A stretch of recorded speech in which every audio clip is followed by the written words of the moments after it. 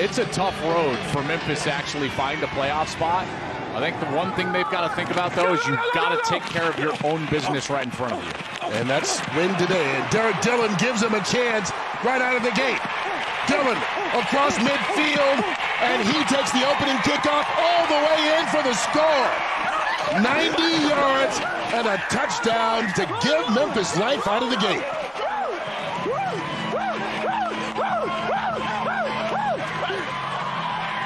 Mario! Mario!